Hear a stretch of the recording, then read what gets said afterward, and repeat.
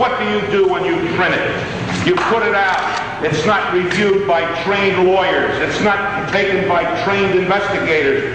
And you put it out and people who unfortunately had confidence in the media. They're learning, though, not to have. it. They believe what you read, what you write, what you say. And it's got to stop. And one day, and I hope it's in my career, that you're going to have to be held responsible and accountable for what you do. You say you don't expect this to be the end of the uh, you mean? The only way we're going to end them when the ones that are responsible get that death penalty back and put them in the electric chair and I'll pull the switch. That's when I'm sure they'll not be around.